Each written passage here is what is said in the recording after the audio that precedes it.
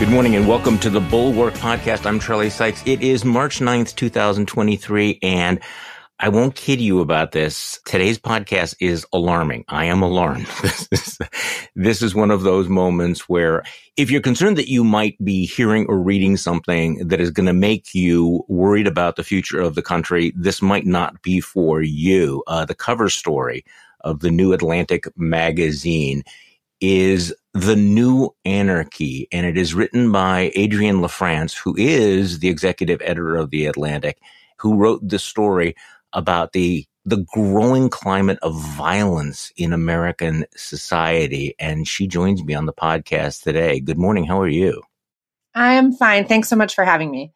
Well, I want to talk about the extremist violence uh, and the history of the extremist violence and, and what it's going to take to move past this. But could I just share with you a bit of audio that I'm somewhat obsessed with? Would you Would you mind? I would love that. I know that we've had the fire hose of scandals and information about Tucker Carlson, and I was not intending to talk with you about Tucker Carlson, but they have dredged up this delicious old video of Tucker Carlson on C-SPAN talking about a book that he wrote 20 years ago. This is a book that he wrote in 2003 called Politicians, Partisans, and Parasites My Adventures in Cable News. And he's writing about and talking about Bill O'Reilly, who was the big enchilada back then. He was the Tucker Carlson of 2003. And he's talking about Bill O'Reilly's populist everyman shtick. And he writes in the book, you know, about how, you know, O'Reilly plays this, you know, everyman guy who is just going to tell it as, as he sees it. But then he goes on to say that it's really kind of phony. And if he ever gets caught out of character, it's over. So after he wrote the book, he goes on C-SPAN and talks about, and this is the audio that, that everybody is talking about today. And so this is Tucker Carlson in 2003, 20 years ago, talking about cable TV's biggest phony back then. Let's play that. Another quote from your book Bill O'Reilly's success is built on the perception that he really is who he claims to be. If he ever gets caught out of character, it's over. That's right. I, I, I say before that that you know Bill O'Reilly's really talented. He's more talented than I am. You know, he's got a lot more viewers than I do. He's a better communicator than I am. Uh, but I think there's kind of a deep phoniness at the center of his shtick. Uh, and again, as I say, the shtick is sort of built on this perception that he is the character he plays. He is every man. This kind of po- he's not right wing. He's a populist. This kind of Irish Catholic populist fighting for you against the powers that be. And that's great as a shtick. But I'm just saying, the moment that it's revealed not to be true, it's over. The moment he gets caught, you know, slapping a flight attendant on the Concorde for not bringing his champagne fast enough, or barking at, you know, one of his subordinates to take the, you know, brown M and M's out of my bowl and get me a bottle of Evian or something like that. The second that makes page six, it's over, right? Because the whole thing is predicated on the fact that he is who he says he is. And just nobody is that person, especially not someone who makes a million dollars, you know, or many millions a year. Hmm. So, Adrienne, when I'm listening to this, I'm going, okay, so in other words, Tucker knows that what he's doing is shtick now. And really what he's become is he's become what he described back in 2003 yeah, there's a real pot kettle quality to that clip. But also this whole notion that if he's ever caught out of character, if people ever see the difference between the private and the public, you know, man of the people, it's all over. And of course, we know that Tucker Carlson, you know, took off the bow tie and he's a really, really, really rich guy. He makes probably more than $1 million. And he says it's over. It's over back then. But these new revelations about the gap between his public and private, you know, persona, you know, they, I hate Donald Trump passionately in the text message. Now that would seem to be a case of getting caught out of character, wouldn't it? I mean, and so he's saying in the before times, that would mean it would be over, but that was then. I don't know about you, but I just get the sense that the Tucker Carlson of 2023 is acting like a man who thinks he'll never be held accountable. The audience is never going to abandon him after he's been exposed, which is another indication about how the rules have changed. He may be right about that. I mean, what it actually makes me think about too is Donald Trump, you know, a wealthy real estate developer from Manhattan, successfully yeah. convincing people that he's a man of the people. And that worked, right? And so Tucker may be right about being able to get away with it. Yes, because people just don't really care about hypocrisy. I, I thought David Frum had a great tweet about this, uh, and, I, and I've thought about this. The, the you know, famous movie "A Face in the Crowd." Mm. In that movie, the TV demagogue's audience turns on him after he's exposed in his own voice as a liar and a, and a hypocrite, and that he really despises his audience as suckers and fools. And there's that moment where the audience says, "Well, we're done with you," and as David says, actually, there was something sweetly naive about that idea that the audience would, in fact turn on the person because in real life now, what's happening? We kind of have a face in the crowd moment happening in real time. And it's not playing out the way it did in the movie, is it? Right, right. Well, and it's an era of such profound cynicism, which I think is a big part of the problem. So I want to talk about your piece, your deeply disturbing piece about the new anarchy, which is really a masterful tour of what is happening to our society, also the history of it and the international implications. Tell me why you wrote this story. You're the executive editor of The Atlantic. You, you, you didn't have to write the story yourself, but this is something that, and you, you say this in the article, you've been thinking about this for years now. Why'd you do it? Thank you for your kind words, first of all. So, three years ago, I wrote a piece about QAnon to try to understand that phenomenon. And after that, I sort of was left thinking, well, how do we fix this, right? How do we break the fever? And very early in my reporting, I came to the conclusion that this isn't a moment where there's a fever to break, that in fact, when you have conditions that make a society sort of ripe for violence and political violence, it tends to be something that you're in for a while. And so that sort of changed my approach and, and sort of sharpened the questions to something that's more like, okay, we're in it, whatever this thing is we're in, this deep division, this conditions that make us vulnerable to violence.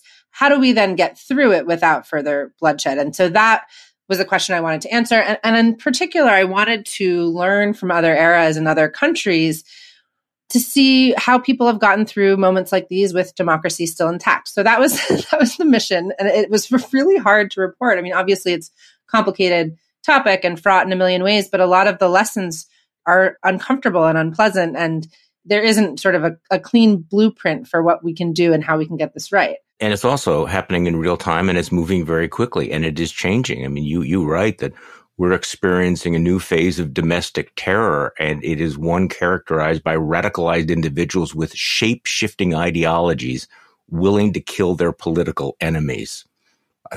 the shape shift. Describe what you mean by the shape shifting ideologies, because I, I, do think that that's one of the markers of our time. So the other thing that I was thinking is we've had for the past several years, certainly over the course of the Trump presidency, this discourse where people have wondered, are we cruising toward the next civil war? And, and the, the civil war, of course, looms so large in the national memory.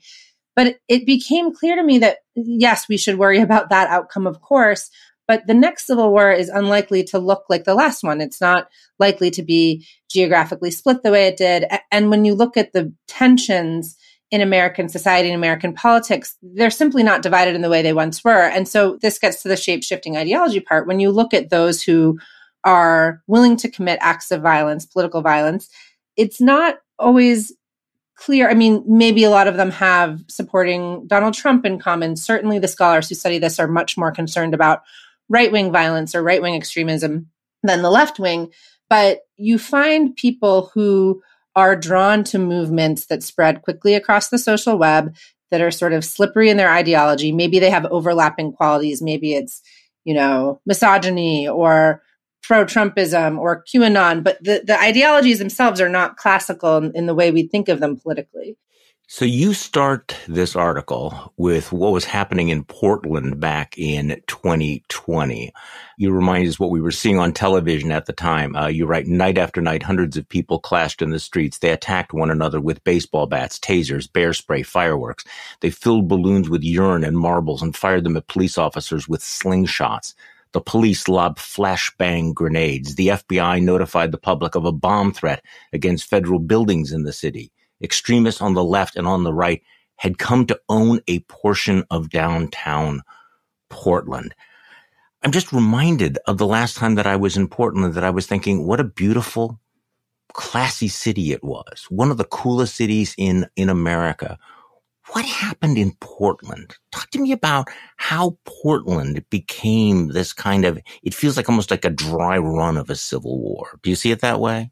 Yeah, I mean, I can totally see why you put it that way. And, and, I was drawn to it for the same reason, just like what on earth happened there? It seemed to be a place that in recent memory is the closest our country has come to sort of being on the brink, like the social contract broke.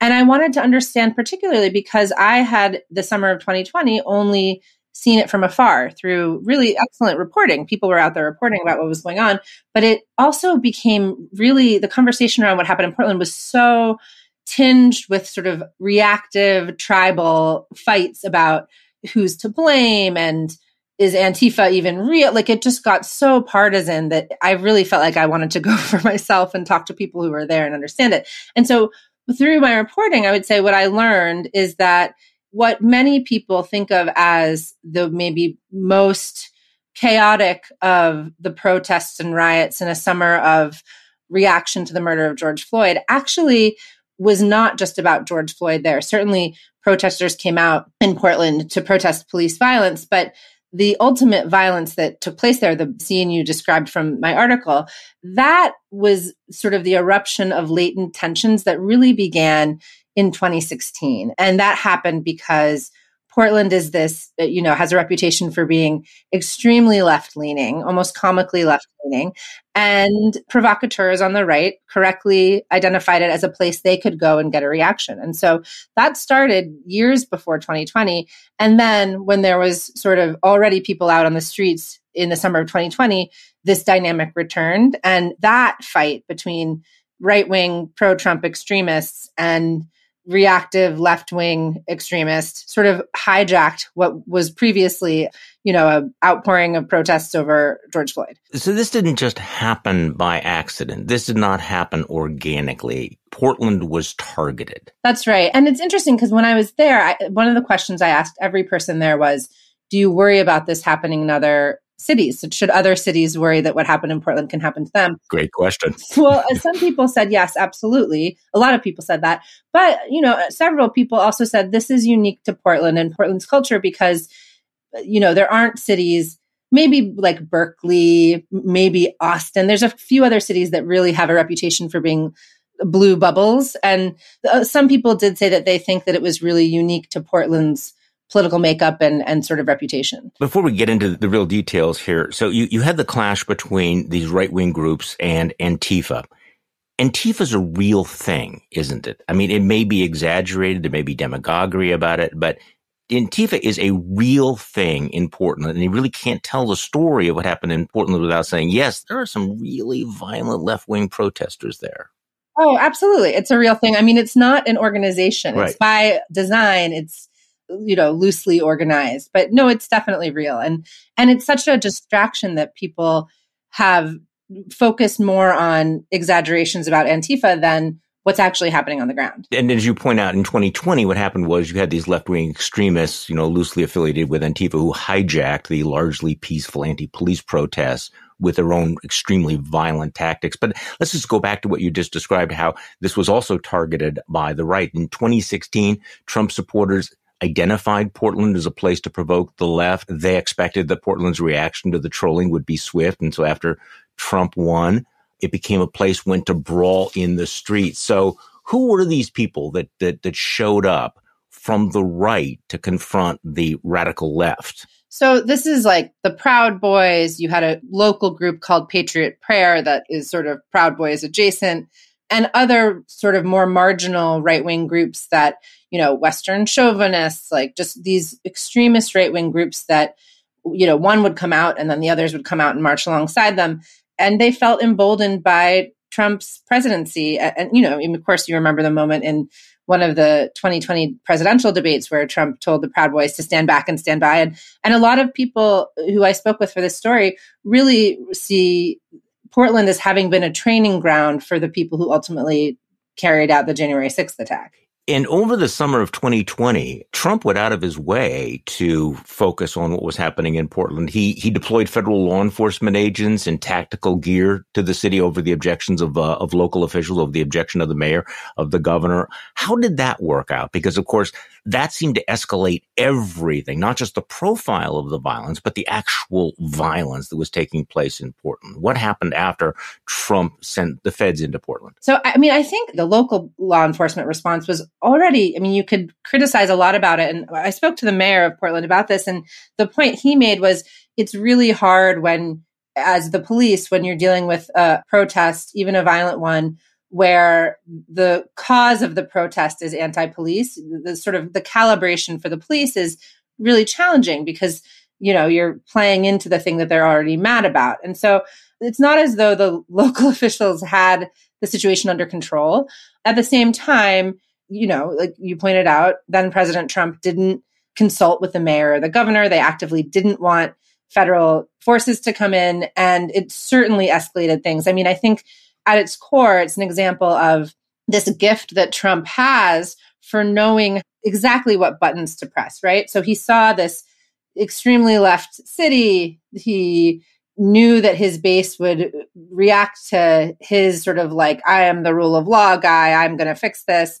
And then it was an opportunity to just get, you know, a national focus on how bad things were and sort of make the point that the left is just totally out of control. And so I think he identified a political opportunity and took it. As he did in Kenosha, Wisconsin, just to the south of where I am right now. And, you know, came very close to winning Wisconsin in 2020. And I think that might have been a factor. So you write that what happened in Portland was, uh, was really a concentrated manifestation of the political violence all around us, that we're seeing this across the country, maybe not quite as dramatically as in Portland. But let's talk about this because you go through what's happening around the country in terms of this sort of rising temperature of political violence. What are you seeing? So, a number of things. I mean, there are actual violent attacks, attacks on elected officials. And so we'd see actual violence. We also see Americans' tolerance for violence changing. So more people are tolerant of political violence as a acceptable, you know, action to take, which is quite disturbing. You see more armed protests, so people bringing firearms to protest, which maybe, you know, you might argue like, well, that could be their right. But in cases where the political tensions are very inflamed and so that's connected with an uptick in violence. So you have all of these conditions where like we see the violence is increasing. We see that people are more tolerant of it. Of course, the sort of national political leadership, the rhetoric is just really coarse and you know, we see incitements for violence all the time. And then the other thing I think to point out is that, you know, you see acts of violence like, for example, like a shooting, the shooting at the gay nightclub in Colorado, which someone might not characterize as an act of political violence, but really is. I mean, it's so you have to take into consideration sort of the sweep of violent events that are tied to this culture of political division. So that's the other piece of it that is sort of can be hiding in plain sight, but is very important to talk about. You mentioned this 2022 uh, UC Davis poll that found that 20%, one out of five Americans believe that political violence would at least sometimes be justified. It would be alarming if 2% of Americans thought that political violence, because that's millions of people, but 20% of Americans are at least open to the idea? I think there are things that are worth debating over when violence is justified, but the other part of that study finds that some large portion of Americans also believe that violence would be justified if it means reinstating Trump as the president. So it's really disturbing stuff, genuinely disturbing. Also, and I think you document this, this is not just theoretical. I mean, we of course already experienced what happened on January 6th. You had a plot to kidnap Michigan Governor Gretchen Whitmer. You had the, you know, obviously you had the, you know, hang Mike Pence, where's Nancy stuff. You know, you had a, a man with a gun and a knife outside Supreme Court Justice Brett Kavanaugh's house. You have a, a man with a loaded pistol outside uh, Representative Jayapal's uh, house. You have a man wearing body armor who tried to breach the FBI office in Cincinnati. You have the break in Nancy Pelosi's house and, and the assault on on her husband. And we can just go through all of the incidents here. So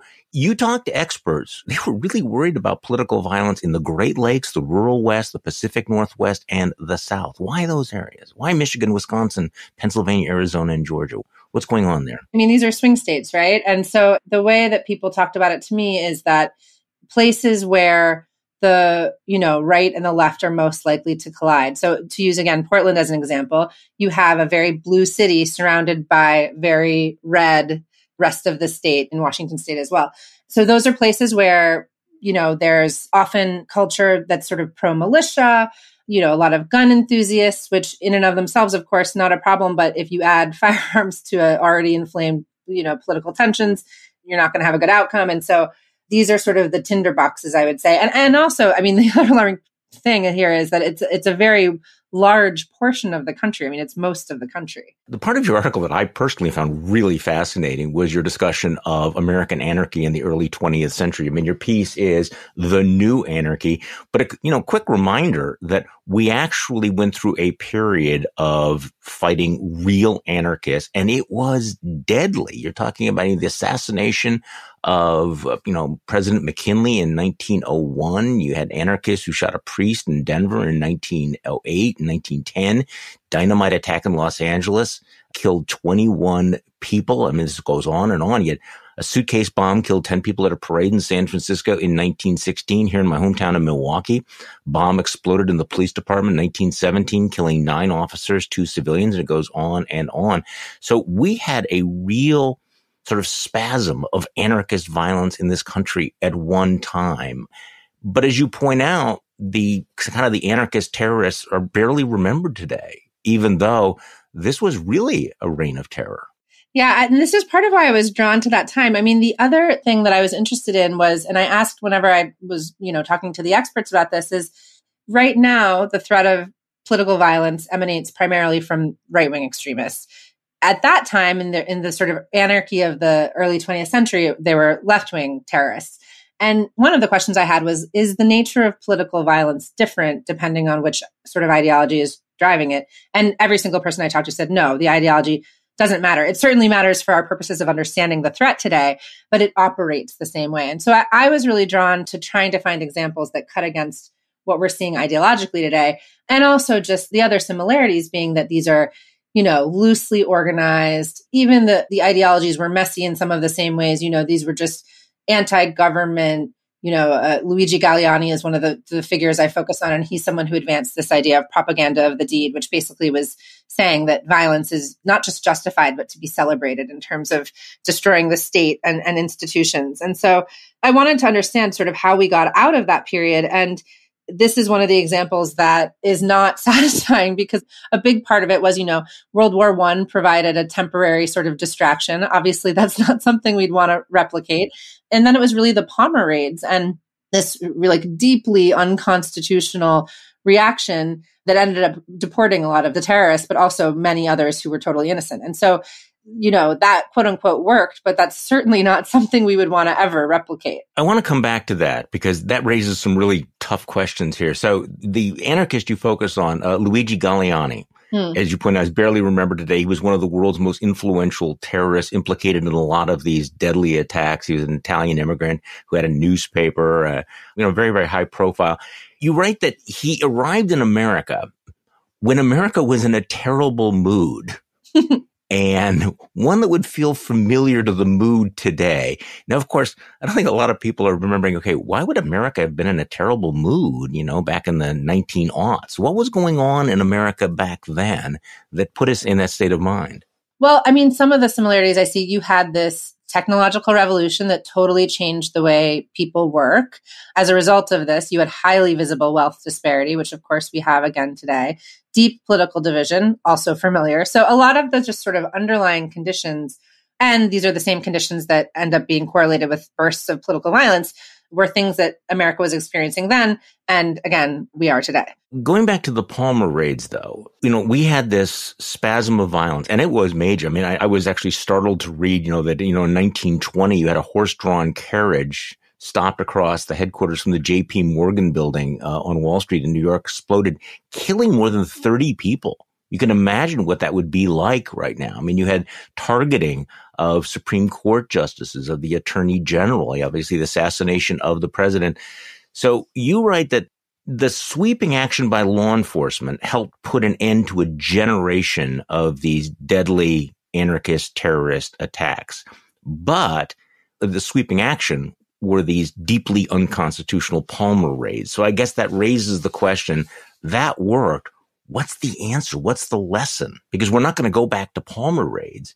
And yet we might have to take some aggressive steps to push back on this, on, on our new anarchy, the new spasm of violence. Well, I think we do need to hold perpetrators of violence accountable. So I, I think law enforcement deployed properly is an essential tool here, right? And and looking at sort of the January 6th indictments, maybe that offers sort of some hope that it can be done in a way that is constitutional but also effective and, and is a deterrent.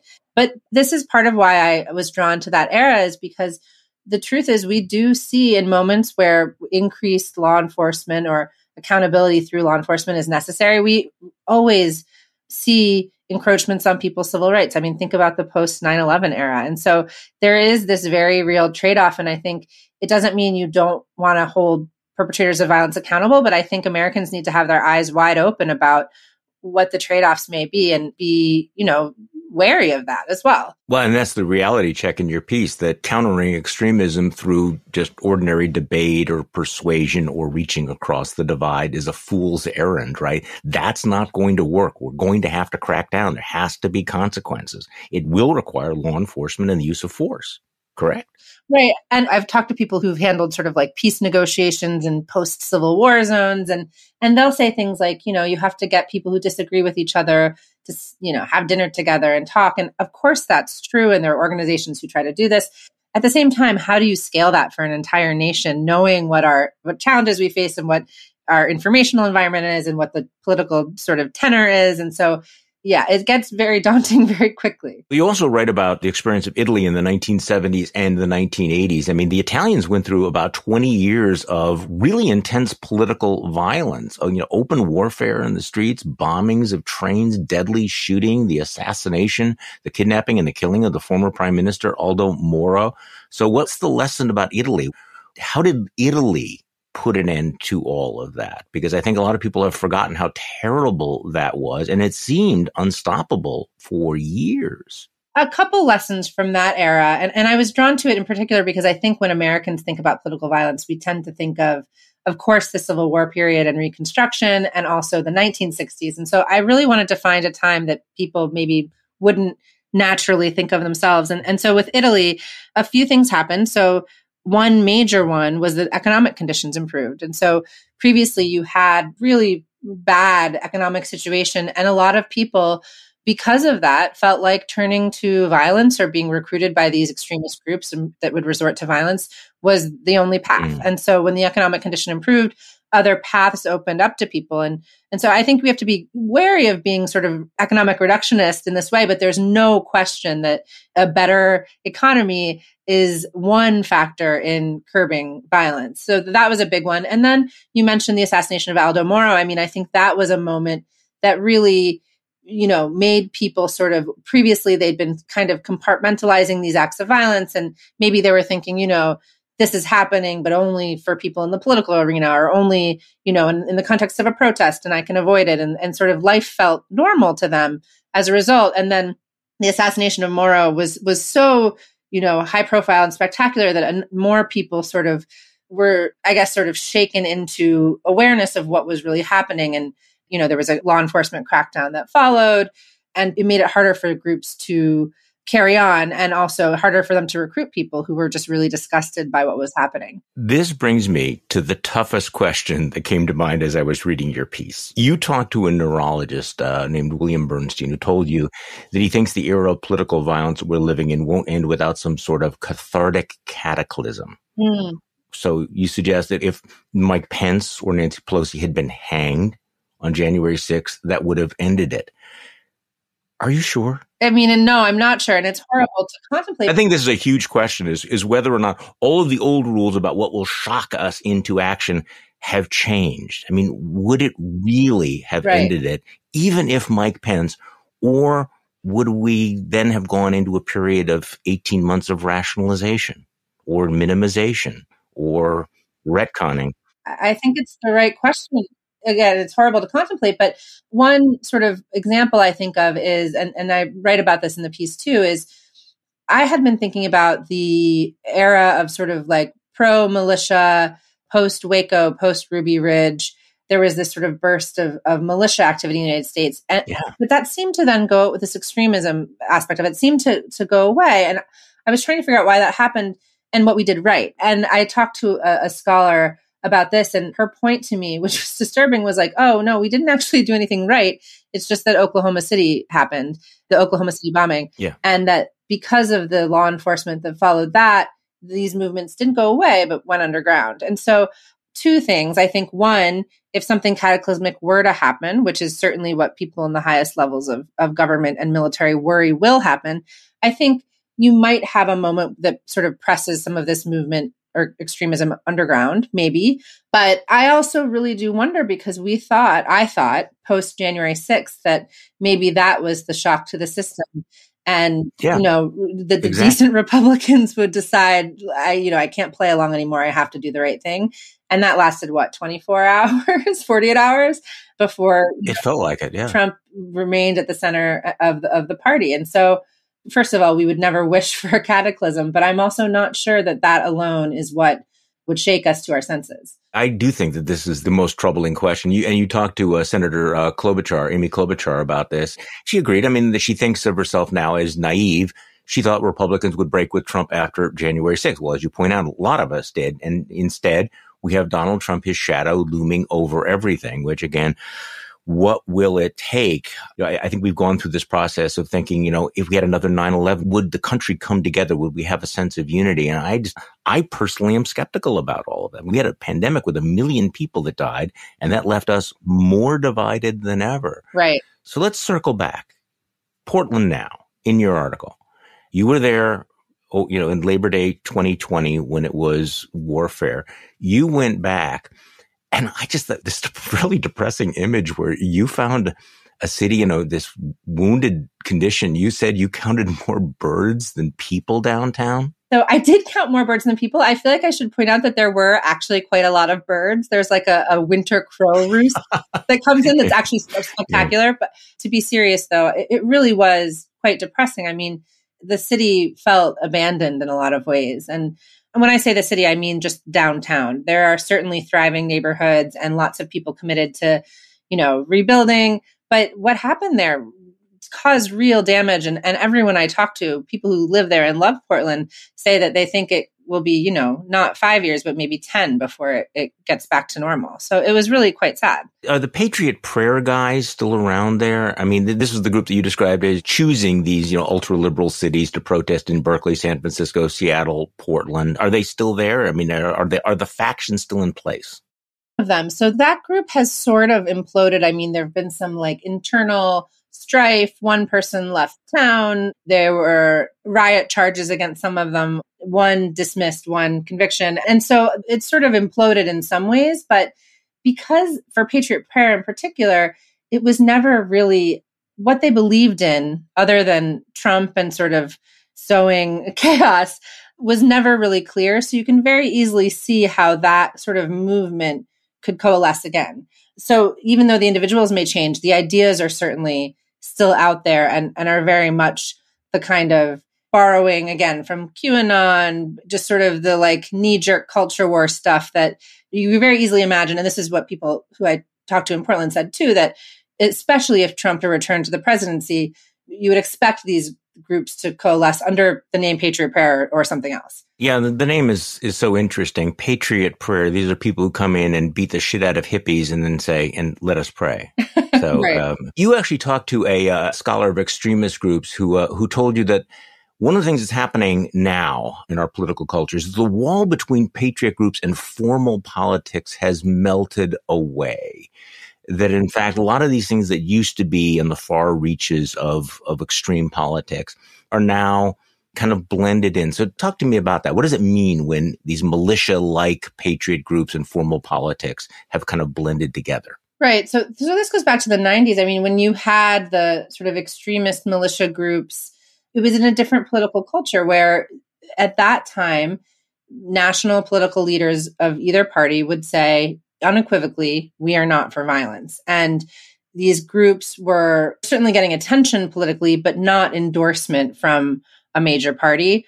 Whereas today you have, I mean, you have members of Congress who could easily be in these groups. and easily. so, and not only that, but you don't have uniform Republican leadership willing to say, this is not who we are. Violence is not okay. We disagree with one another in this country, but we do so, you know, verbally, not not with violence. And so that to me, I mean, it sounds like such a basic thing, but until we can reestablish real decent leadership, the problem is not going to go away. You know, I think that's a tremendously important point. So, despite all of this, most Americans really underestimate political violence, right? Is it because anything short of an actual civil war isn't registering with them? I mean, you have the Department of Homeland Security, as you mentioned, you know, issuing a statement the country remains in a heightened threat environment. So, what is that heightened threat environment? What are the realities that we should be paying attention to? So this is where it's the, you know, the individual attacks that may not immediately register as political violence, but really are. And so again, I think you're right exactly that some people maybe just see this as random acts of violence rather than a slow boiling political violence problem. And maybe those people are waiting for a civil war to arrive in the form that is more recognizable from the past. But the things that Homeland Security and others warn about are, you know, random attacks on, I mean, the list is disturbingly expansive, but it's on schools, on people who are perceived of as ideologically different than the, you know, the person carrying out the attack, on journalists, on certainly LGBTQ community. Really, like if you look at the the culture wars and sort of the various flashpoints in political debate, I think you also see sort of a map to where threats of violence are most acute. This is the part where I really became alarmed, where you're talking about this uh, this new environment where you have, you know, almost universal access to um, weaponry. You have an information environment where you don't need to be part of an organization to become a terrorist, and and then, of course, we have the, you know, refusal to accept election outcomes with national leaders fueling the skepticism. And, and if you genuinely believe that your democracy has been hijacked, you are going to act out in some sort of a way. So let's just double back to this question of leadership because I think this is so crucial. I mean, you close your article by saying the violence has to be confronted. Leaders have to, you know, identify what is happening and face down people who use the language of democracy to weaken democratic systems. Um, you're right. It means rebuking the conspiracy theorist who uses the rhetoric of truth seeking to obscure what's real, the billionaire who describes his privately owned social platform as a democratic town square, the seditionist who proclaims himself a patriot, the authoritarian who claims to love freedom. But Adrienne, the problem is, is that that denunciation, it needs to come from within that world. It's not going to be editorial writers, op-ed writers in the New York Times or NPR mm. or the Bulwark podcast or the Atlantic magazine. At some point, you have to have these responsible voices. And I'm sitting here looking at a picture right now of Marjorie Taylor Greene sitting in the speaker's chair of the House of Representatives. I mean, there was once a time when the speakers would have acted like guardrails, would have stuffed her in the back bench, would have done everything possible to distance the party from somebody like that. But not only are we not seeing the thought leaders of the Republican Party doing what you are suggesting, in fact, they continue to either ignore or actively promote the kinds of things you're talking about. How do we get around that?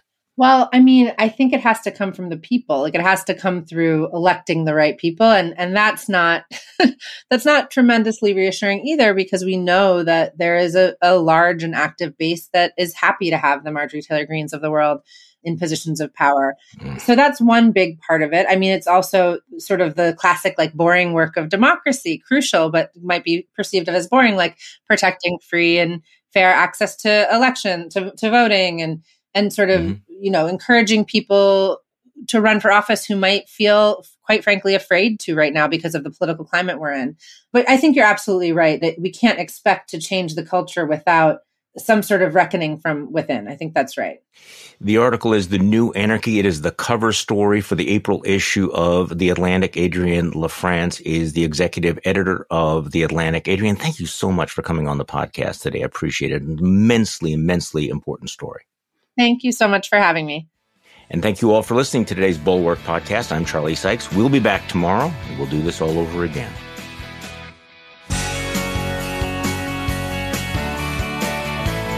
The Bulwark podcast is produced by Katie Cooper and engineered and edited by Jason Brown.